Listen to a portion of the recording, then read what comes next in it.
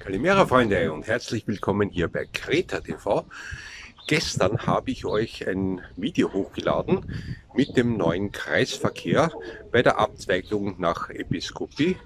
Und ja, heute in der Früh habe ich schon in den Medien gelesen, gibt es riesige Diskussionen, denn die Gemeinde Retimno wirft dem zuständigen Magistrat vor, von nichts gewusst zu haben. Ja, und auch bei den äh, Bürgern im Umkreis gibt es sehr viel Unsicherheit.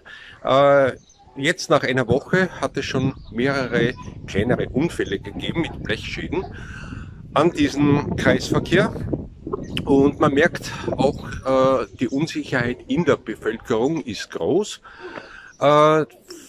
Vor Ort ist die Situation so, ihr habt bei zwei Einfahrten eine Stopptafel und bei zwei Einfahrten nicht.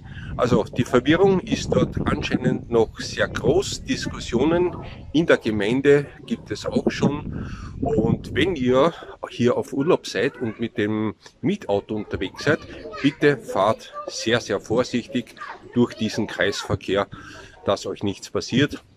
Ihr habt dann natürlich weniger Stress, denn sollte etwas sein, gibt es immer wieder die einen oder anderen Probleme. Ja, das Update wollte ich euch heute noch mitgeben. Und wenn es etwas Neues gibt, dann halte ich euch auf jeden Fall auf dem Laufenden. Und ja, wünsche euch noch einen schönen Sonntag heute. Und ja, wir sehen uns natürlich wie immer beim nächsten Video wieder.